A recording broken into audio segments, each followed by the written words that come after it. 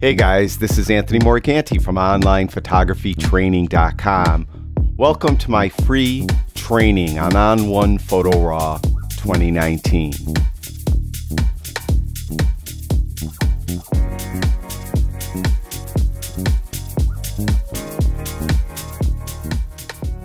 In this episode, I'm going to demonstrate how to crop your image with the crop tool that's found in On1 Photo Raw 2019. Now, just looking at this image, I'd like to tighten it up a little bit, eh, maybe crop it down and over a touch. Also, it's crooked and I need to straighten it. All of that is done with the crop tool.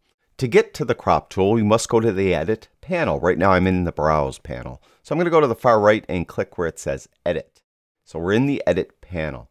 Now, one thing I like to do, if I'm not going to use any presets, why have this left panel open? So I'm going to hide that left panel over here in the very lowest left hand corner of the screen, click on that icon down there and we'll hide the left panel. And you can see that it really made the image bigger and we maximized our workspace. And it really does help us process an image when we could see more of the image. Now I want to crop the image. Go to the left hand tool well, the crop tool is the second tool from the top. Click on it to activate it. You'll see a rule of thirds grid overlay appears on the image. That's to help you crop your image to that compositional rule. And that helps a lot. In this case, I don't think I really need it, but it's there if we need it. Now, up at the top are the tool attributes. By default, you'll know you'll usually be in freeform. Freeform is great. It allows you to crop your image to your creative vision. For example, I could just grab this handle, and you'll notice there's handles in each corner and handles in the middle horizontally and the middle vertically. So if I grab this top handle in the middle and just pull down, you can see I'm kind of making it a, a more panoramic type view. I could grab this one on the left and pull in. So I could really crop this to my creative vision. That's awesome. But the problem with that is if you want to print this, it may not print properly on standard sized printer paper. It'll print, it's either going to have borders or it's going to zoom in so it's a borderless print and you're going to lose some of the pixels. So it's not always best to use freeform crop. Again, it's great to express your creative vision, but it's not so great if you want to print the image. So I'm going to reset it by clicking that reset button. And if I go to this drop down, you can see that there's the original ratio. Now, this was shot with a DSLR that is a 3 to 2 or 2 to 3 if you prefer, ratioed sensor. And now, if I grab this handle, let's say right here, it's going to hold that ratio. So you can see I can't really make that panorama anymore. It's going to stay to that 2 to 3 ratio. The 2 to 3 ratio will print a perfect borderless 8 by 12, 16 by 24. So that is the ratio you'd like to use, that is a 3 to 2 or 2 to 3 ratio, if you're going to print like an 8 by 12, 16 by 24, whatever is a 2 to 3 or 3 to 2 ratio, that will work perfectly. Now there's more to choose from. Uh, there is a square image. So if you're going to print a square image, that's it. When you grab any handle, it's going to stay square no matter what, no matter which handle you grab. I'll reset that. The more most common is probably 4 by 5 or if you prefer 5 by 4 That prints a perfect 8 by 10 um, 16 by 20, anything in that, again, 4 to 5 ratio. And any handle you grab, it's going to keep that ratio. Now, when I pick one of these ratios, like the original 2 to 3 ratio, you'll notice to the right it has width is 3 and height is 2. That's the actual ratio. You could come in and put in your own ratios. So you could put 3 to 3, which is going to be square, right? Oops, let me put it in there. There. There. That's square. Um, I go back here and put 2. And then that's the 2 to 3. So you could come in and you could just put in the ratio you'd like if you prefer to do it that way. You'll also notice when it's says original ratio. It doesn't have, in this case, this is a 3 to 2 ratioed sensor. This image is 3 to 2, but it's showing the actual pixel count when we use original ratio.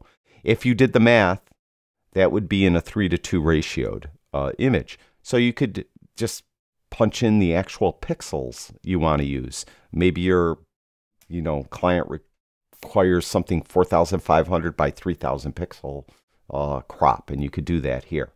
So that allows you to just put in the actual pixel numbers if you prefer. Um, most people don't do that, tell you the truth. So in this case, as I mentioned, I think I want to stay with the 2 to 3 ratio, but I just want to tighten it up a little bit. So I'm just going to pull it in from the top and just kind of center it a touch. So just like that. So I think that is pretty good. Now when I'm done, you click apply and it applies the crop to your image. But I had this other issue, right? The image is crooked. So I'm going to open that crop tool up again. And there is actually a couple different ways you could go about straightening the image. The first way is with this level tool.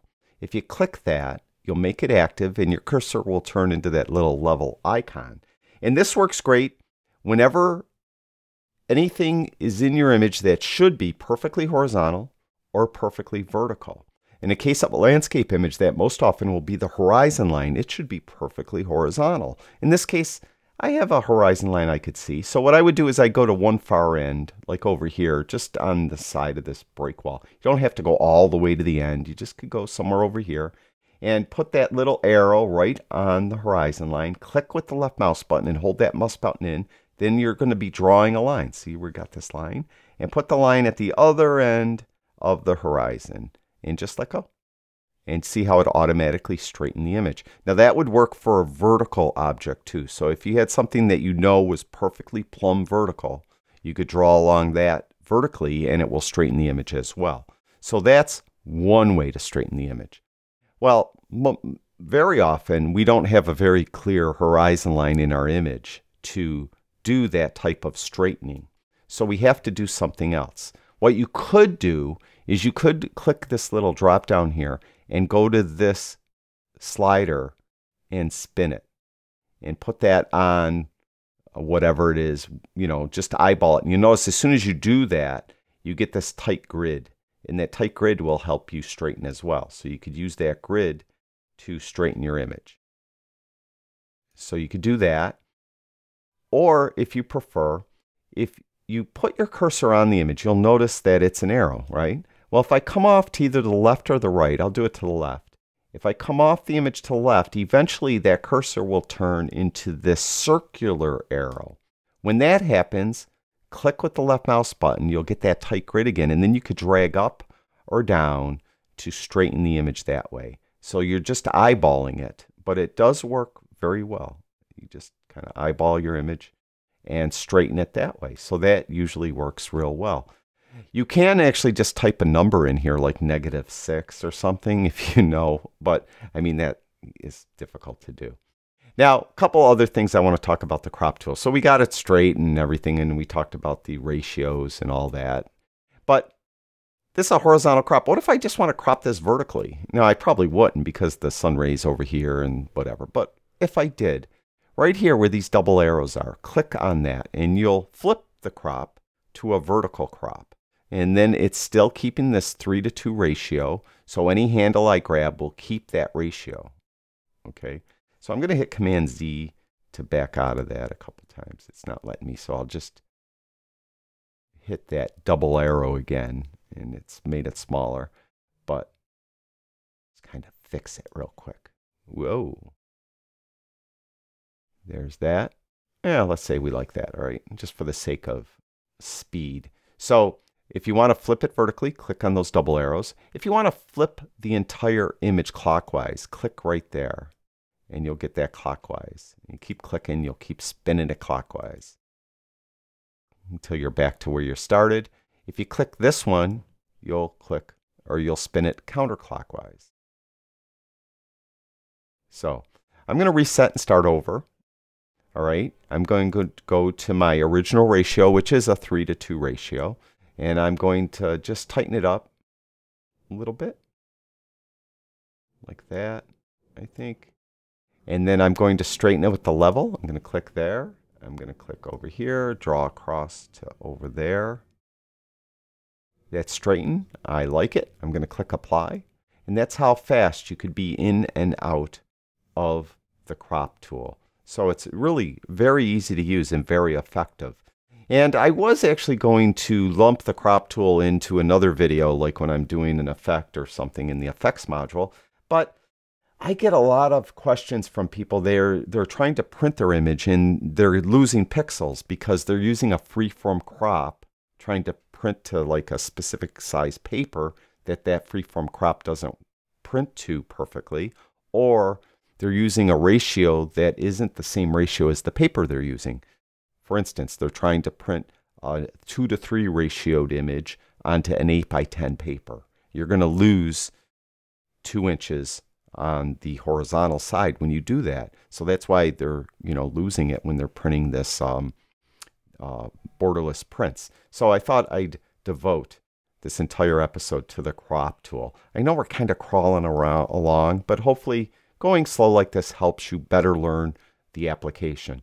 In our next episode, we're going to start getting to it into effects, and I'm going to talk about the three or four most common effects filters that you'll use on probably almost every image you process with ON1 Photo Raw 2019. Thank you for watching my free video training on ON1 Photo Raw 2019. Please do me a favor and like and share this video. Also, subscribe to my YouTube channel. And in the description below this video, you'll see ways that you could help me keep making free photography how-to videos. Finally, visit my website, onlinephotographytraining.com. There, you'll find over 900 videos and articles to help you with your photography. And of course, they're all free. Thank you.